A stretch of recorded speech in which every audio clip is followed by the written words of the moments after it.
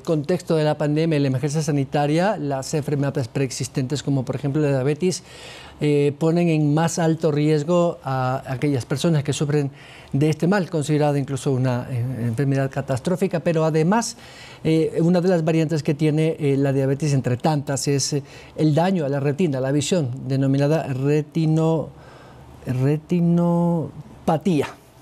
Perdón. Para hablar del tema está con nosotros el doctor Roberto Larco, es especialista precisamente en, esta, en este mal de la diabetes, eh, la retinopatía.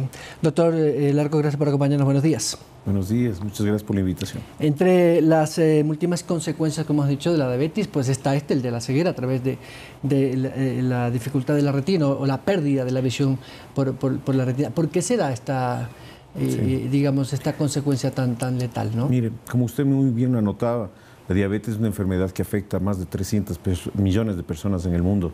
Es una enfermedad, una pandemia realmente que es muy difícil de ser controlada.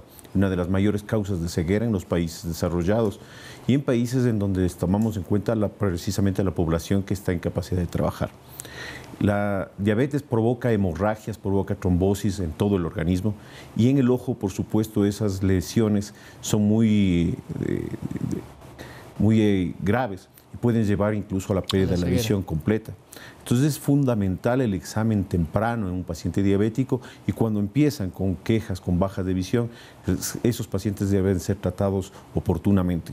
Hace unos años atrás, no muchos años atrás, desgraciadamente, eh, estos casos de estos pacientes diabéticos realmente desembocaban en la ceguera y no podían recibir un tratamiento adecuado. Pero la ciencia ha evolucionado tanto hoy que nos permiten realizar un procedimiento con tratamientos con láser, que son los más inocuos posibles, los más seguros posibles.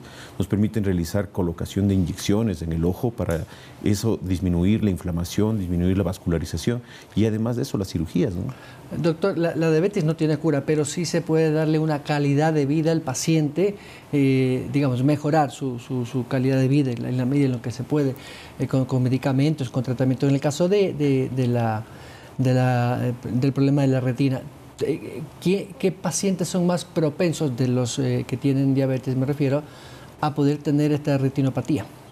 Precisamente son pacientes que son, no tienen un buen control de la diabetes, que son generalmente acompañan con alteraciones como la hipertensión arterial y esos, esos descontroles de la diabetes provocan eh, hemorragias, provocan sangrados y provocan pérdida de la visión. Entonces es fundamental, como usted bien lo anotaba, eh, un control oportuno de eso para poder nosotros eh, poder tratarlo oportunamente y al paciente y controlar la enfermedad.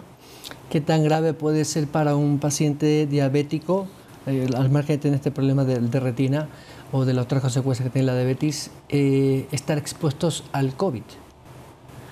Realmente el COVID es una enfermedad que nos afecta muchísimo, que la ciencia no termina de entender bien cuáles son las formas que se presentan y obviamente el COVID eh, provoca alteraciones en el, en el organismo que pueden desembocar en empeorar su situación. O sea, es más vulnerable. Así Los pacientes diabéticos son siempre más vulnerables, por eso tienen que ser ellos vacunados en su totalidad y guardar todos los controles necesarios. ¿Y necesitan una protección adicional?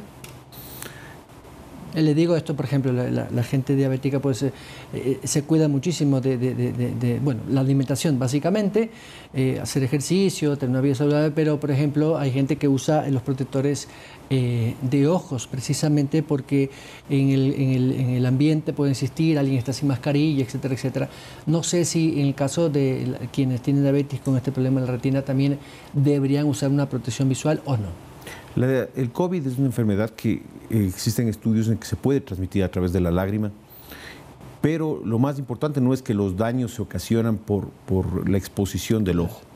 Lo que ocurre con el COVID es que como es una enfermedad que puede estar acompañada de efectos trombolíticos efectos de trombosis, esos pueden provocar eh, trombosis en el ojo. Y obviamente el paciente diabético ya cuenta con todos los, pasos para ocurrir en eso. Entonces, la hipertensión, los efectos trombóticos, las hemorragias. Entonces pueden agravarse muchas veces estos casos. Eh, eh, ¿Conoce usted de, pacientes eh, con diabetes que hayan tenido lamentablemente decesos ahora por el tema de COVID? ¿Se incrementó la mortalidad en los pacientes diabéticos? Yo no guardo esa, esa, esa, tasa, pero lo que puedo decir es que existen muchos casos en los cuales los pacientes que ya estaban más o menos controlados empeoraron por el, la presencia de COVID en su problema ocular, me refiero. Claro, claro. Obviamente eh, hay que tratarlos, no existe otra alternativa y cuidándonos con las condiciones que tenemos podemos sacar al paciente adelante. ¿En qué momento un paciente diabético puede alertarse con cierta anticipación de que podría tener un problema de retina? Es una pregunta que muchas veces, muchas veces nos hacen, porque hay pacientes que tienen una diabetes muy avanzada y que los pacientes no tienen una queja visual o ellos no aprecian esa queja visual. Entonces es importante eh, determinar apenas el paciente baja la visión. Por lo general, todo paciente después de los 20 años, mismo estando controlado con su diabetes bien, va a desarrollar una retinopatía diabética. Y esa retinopatía diabética son hemorragias pequeñas en el ojo que comienzan a aparecer y comienzan a aparecer como unas manchas en el centro del ojo y que no nos permiten leer, que no nos permiten eh, visualizar bien. Entonces es fundamental, todo paciente después de cinco años de presentar la diabetes es indispensable, ese paciente tiene que tener un examen de fondo de ojo oportuno. Lo que significa es que eh, no necesariamente tiene que haber una pérdida de visión, sino o, una ligera molestia al, a leer? Muchas veces, muchas veces pueden presentarse casos en los cuales el paciente no diferencia esa pérdida de visión, porque las hemorragias no están afectando la parte central. La parte central de la retina se llama mácula. Y entonces, si no afecta la parte central, el paciente no lo percibe. Y, como son daños muy progresivos, muy lentos, el paciente mm. casi no percibe de un día para otro esas alteraciones. Exactamente. Exactamente. Entonces, ya cuando se presentan, el paciente viene con una pérdida de visión muy severa, ¿no? Claro. Doctor, esto corta el tiempo, pero quiero agradecer. Le agradezco a usted por. El doctor Roberto Larco, especialista en eh, problemas de retina en casos de diabetes. Eh, hay que cuidarse en esta época donde la pandemia también expone mucho más a pacientes eh, crónicos de diabetes. 7 de la mañana con 17 minutos, vamos a la pausa.